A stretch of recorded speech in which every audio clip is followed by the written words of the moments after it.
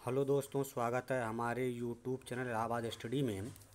आज हम आपको यूपी पुलिस रेडियो ऑपरेटर की जो भर्ती आई थी, उसमें बीटेक वालों को बाहर कर दिया गया है। तो उसके संबंध में जो नोटिस है, और पहले क्या विवाद था, कैसे मैटर सॉल्व हुआ, कोर्ट ने क्या आदेश दिया है, इन सभी बिंदुओं को हम इस वीडियो में देखेंगे। और आपको बताएँगे कि बीटेक क्यों क्यों नहीं एलिजिबल माना गया है। तो देखिए कि पहले यूपी पुलिस रेडियो ऑपरेटर भर्ती। बीटेक को कोर्ट से बहुत बड़ा झटका लग गया है। रेडियो ऑपरेटर भर्ती में केवल डिप्लोमा ही मान्य आदेश जारी कर दिया गया है। अब बीटेक वाले सावधान हो जाएँ, आवेदन न करें। जैसा कि पहले ही बताया गया था कि बीटेक डिप्लोमा जहाँ पर है, वहाँ पर बीटेक एलिजिबल नहीं है। लेकिन फिर भी लोग नहीं माने। तो इसके बाद अब कोर्ट ने बहुत बड़ा आदेश जारी कर दिया है। यानी बीटेक को कंप्यूटर ऑपरेटर की भर्ती से बाहर कर दिया है। अब केवल डिप्लोमा वाले ही इस भर्ती में मान्य होंगे। तो सबसे पहले मैं ये जो पुलिस की रेडियो ऑपरेटर भर्ती थी, उसके बारे में आपको दिखा देता हूँ। देखिए यह Uttar Pradesh police recruitment and promotion board द्वारा UPP radio cadre head operator head operator mechanic की भर्ती निकाली गई थी। इस भर्ती में 936 head operator head operator mechanic के पोस्ट थे, जिसके लिए एलिजिबिलिटी जो है three year diploma in electronics telecommunication electrical computer science IT और मैकेनिकल को मांगा गया था। यानी इसमें जो है नौ सौ छत्तीस पोस्टों के लिए जो एलिजिबिलिटी थी वह diploma in electric, electronics, telecommunication, electrical, computer science, IT और मैकेनिकल। इतने डिप्लोमा को मांगा गया था। और साथ ही साथ, इसमें हाइट का भी इशू था। एक सौ अड़सठ height O B C S C general की थी। एस टी की एक सौ साठ थी। फीमेल जो है, एक सौ बावन सेंटीमीटर। एस टी की फीमेल एक सौ सैंतालीस सेंटीमीटर। चेस्ट जो है सेवेंटी नाइन से एट्टी फाइव तक था, general O B C S C के लिए। एस टी के लिए सेवन से एट्टी टू तक था। और इसमें रनिंग जो है, फोर पॉइंट एक kilometre in twenty eight minute में, और महिला के लिए two point four kilometre in in sixteen minute में। और इसकी जो कैटेगरी वाइज सीटें थी, जनरल की three hundred seventy nine E W S की ninety two O B C की two fifty two S C की one ninety five S T की एट्टीन टोटल नौ सौ छत्तीस पदों पर विज्ञापन आया था। इसके बाद, जैसा कि मैंने बताया था कि इसमें जो योग्यता मांगी गई थी, वह three year engineering diploma in electronics telecommunication electrical computer science IT एवं मैकेनिकल तो इतना जब डिप्लोमा मांगा गया था तो इस डिप्लोमा के मांगने के बाद भी कुछ अभ्यर्थी जो बीटेक किए थे इन ब्रांचों से, उन्होंने भी फॉर्म को अप्लाई कर दिया था। जिसके बाद अभ्यर्थी कोर्ट चले गए थे। और साथ साथ बोर्ड में भी उन्होंने यह जानकारी दे दी थी।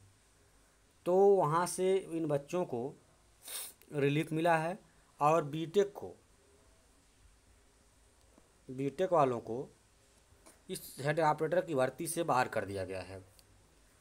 मैं आप लोगों को वह लेटर भी दिखाऊँगा, जहाँ साफो साफ़ मेंशन किया गया है कि बीटेक जो है कंप्यूटर ऑपरेटर भर्ती के लिए एलिजिबल नहीं है, यानी जहाँ पर डिप्लोमा मांगा गया है, वहाँ पर बीटेक एलिजिबल नहीं होगा। जैसा कि आपने देखा होगा कि UP triple S C JE दो में भी बीटेक को अलाउ नहीं किया गया है, उसके बाद भी कुछ फर्जी तरीके से लोग भर रहे हैं तो वह लोग सावधान हो जाएँ। नहीं तो उनके ऊपर आयोग कार्रवाई करेगा। आप यहाँ पर देख सकते हैं, यह भर्ती डिप्लोमा होल्डर के लिए थी, लेकिन बीटेक वाले भर रहे थे, इसलिए उनको बाहर कर दिया गया है। अब मैं आपको वह लेटर भी दिखा देता हूँ, वह जो आदेश आया है, वह आदेश भी दिखा देता हूँ, जिसमें यह बातें कही गई हैं।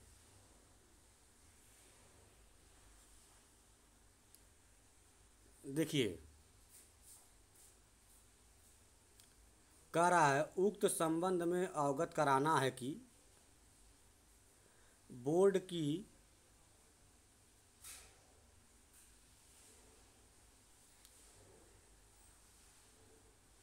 कि बोर्ड की गोष्ठी का कार्यवृत्त रिजोल्यूशन दिनांक 25 दो 25 पाँच दो हज़ार इक्कीस के प्रधान परिचालक प्रधान परिचालक यांत्रिक पद हेतु शैक्षिक आर्ता के अनुसार अभ्यर्थी ने भारत में विधि द्वारा स्थापित बोर्ड से electronics telecommunication, electrical computer science, information technology, mechanical engineering में तीन वर्षीय डिप्लोमा कोर्स अथवा सरकार द्वारा उसके समकक्ष मान्यता प्राप्त कोई परीक्षा उत्तीर्ण की हो के साथ उक्त विषयों में चार वर्षीय डिग्री उपाधि अभ्यर्थियों को की डिग्री, डिप्लोमा से उच्च स्तर के आधार पर इन अभ्यर्थियों को भी उक्त पद हेतु अहर माने जाने से संबंधित निर्णय लिया गया था, जिसे बोर्ड की गोष्ठी तेईस चार दो हज़ार चौबीस को आंशिक रूप से संशोधित करते हुए उक्त पद की शैक्षिक अर्हता के अंतर्गत यह निर्णय लिया गया है कि चार वर्षीय डिग्री उपाधि धारक अभ्यर्थियों को उक्त पद हेतु आहर नहीं माना जाएगा। यानी पहले इन अभ्यर्थियों को अनुमति दे दी गई थी। कि चूँकि डिप्लोमा योग्यता है तो बीटेक वाले भर सकते हैं। लेकिन जब दोबारा बैठक हुई है तेईस चार दो हज़ार चौबीस को तो उसमें साफ़ और साफ़ कर दिया गया है कि चार वर्षीय उपाधि धारक अभ्यर्थियों को उक्त पद हेतु आहार नहीं माना गया है। यानी जो डिग्री धारक अभ्यर्थी हैं, उनको इस भर्ती से बाहर कर दिया गया है। तो यह निर्णय आयोग, बोर्ड ने लिया है। आप देख लीजिए कि इसीलिए मैं बार बार कह रहा हूँ कि आप जो है UP triple S C JE भर्ती में जो बीटेक वाले अभ्यर्थी हैं, वह फॉर्म को ना भरें। क्योंकि आप देख रहे हैं कि जब कंप्यूटर ऑपरेटर की भर्ती, जिसमें पहले उन्होंने एलिजिबल किया था, बाद में जब उन्होंने दोबारा मीटिंग की है, तेईस चार दो हज़ार चौबीस को तो उन्होंने कह दिया है कि बीटेक इसमें एलिजिबल नहीं है। यानी जो अभ्यर्थी बीटेक से फॉर्म डाले हैं, उनका अभ्यर्थन निरस्त कर दिया गया है। यानी अब केवल इस भर्ती में डिप्लोमा वाले ही मान्य होंगे। तो आप लोग देख लीजिए, लगातार जो बातें कही जा रही हैं कि बीटेक वाले ना भरें तो ये लोग संज्ञान ले लें और इस फॉर्म को ना फिल करें। क्योंकि फिर वही बात में बात होगी, एफ़ आई आर होगा, सब कुछ आपके खिलाफ होगा कार्रवाई, जिसके लिए आप स्वयं जिम्मेदार। क्योंकि जब सोचिए कि जब ये पहले एलिजिबल करने के बाद जब अभ्यर्थी कोर्ट जाने लगे, जब अभ्यर्थी आयोग, बोर्ड को यह जानकारी दी है कि डिप्लोमा बीटेक के समकक्ष नहीं है या समकक्ष नहीं माना जाता है, तब जा कर के बोर्ड ने यह निर्णय लिया है कि कंप्यूटर ऑपरेटर की भर्ती के लिए केवल डिप्लोमा वाले ही मान्य होंगे, डिग्री वाले मान्य नहीं होंगे। तो उसी क्रम में यह जानकारी दी गई है। अब जो है तो मैंने पहले आपको बता दिया कि रेडियो ऑपरेटर भर्ती में केवल डिप्लोमा ही मान्य होंगे। आदेश भी इसका जारी कर दिया गया है।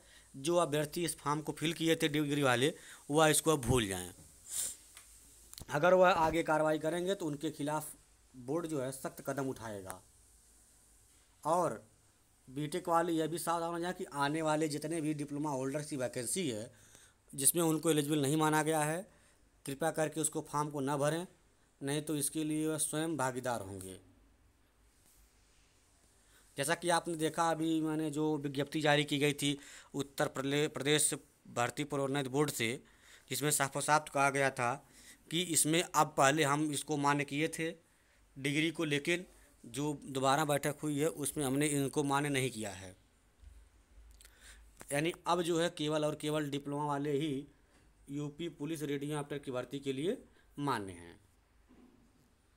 इसलिए बीटेक वाले सावधान हो जाएँ और आवेदन न करें। नहीं तो यह उनके लिए बहुत बड़ा झटका साबित हो जाएगा।